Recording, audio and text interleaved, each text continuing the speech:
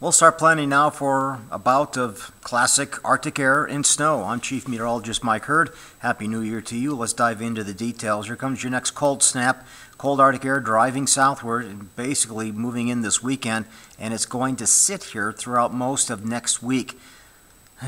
well, probably going to see temperatures a good 10 to 20 degrees below average for this time of the year. Now, right now, there's very quiet weather over Montana, but that cold Arctic air is going to be colliding with some of these Pacific storms, and that means there will be an increasing chance of cold and snow.